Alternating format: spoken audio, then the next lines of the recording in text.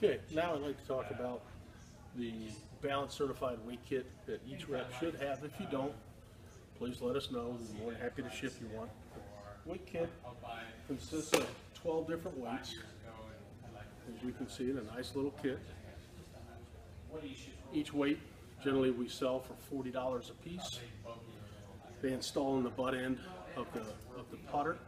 And they're, what they're going to do is activate the big muscles in the body. They allow the putter to come back on the proper arc. When we're taking a putt without one, we're only getting the information in our top hand. So if I'm going to hit a putt, I'm a right-handed player. My left hand is the one that's going to be getting the no vibration. My right hand's going to be getting all of the vibration of when I hit it. That's the reason why I can feel off-center hits and so on hit it. If I put a weight in the butt end, it's going to eliminate all the bad vibes in it and it's going to make it very solid feeling regardless of whether I hit it on the heel or the toe. So you'll have to test this for yourself. Very simple. What I do when I do a demo day is generally I'll have four or five putters already with holes in the grips.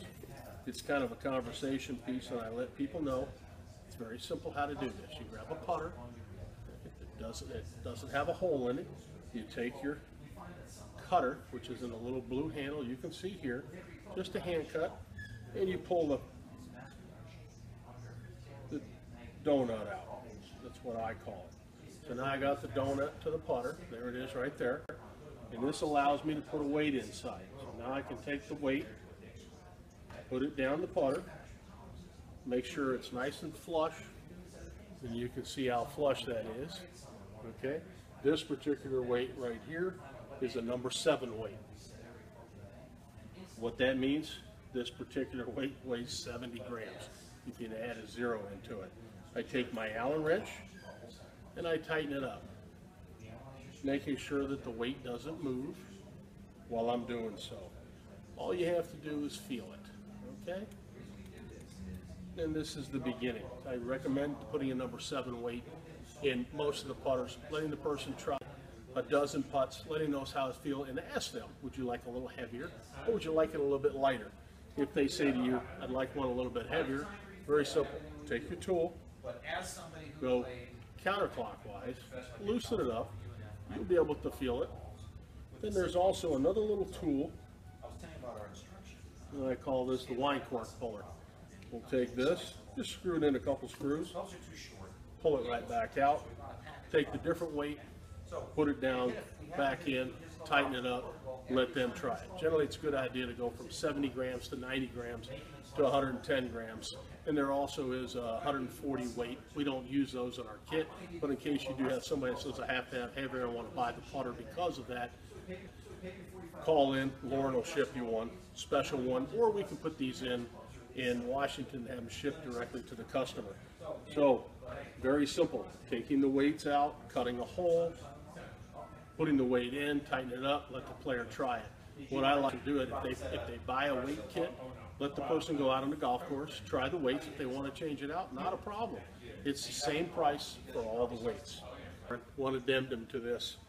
Uh, when we go into a to a demo day type situation and people want to try the weights but they don't want us to cut a hole in it, part of that weight kit has different weights on there.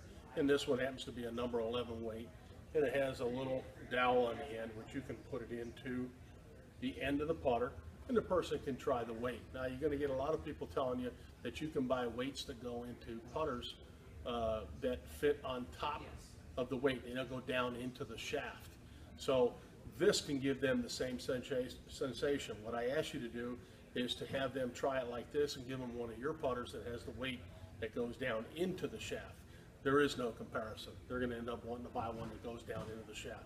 So for example, there's grip companies out there putting the weights into the top. You have, you have other companies out there that are calling this counterbalance by putting a heavier grip on the end.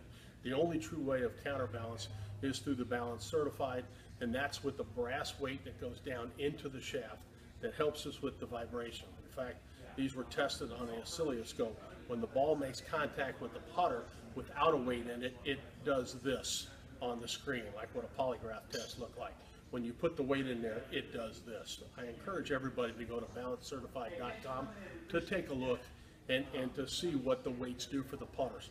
The putters for us are, yeah, they're a moneymaker, but the main thing for the, for the weights on the putters is to help us sell our putters. So, so after the length is done, the lie angle is done, the mallet or blade is done, or mid mallet, all the stuff is done, the, the grip is chosen, you name it. This is the last thing that you do, is you install a weight into the end of the putter.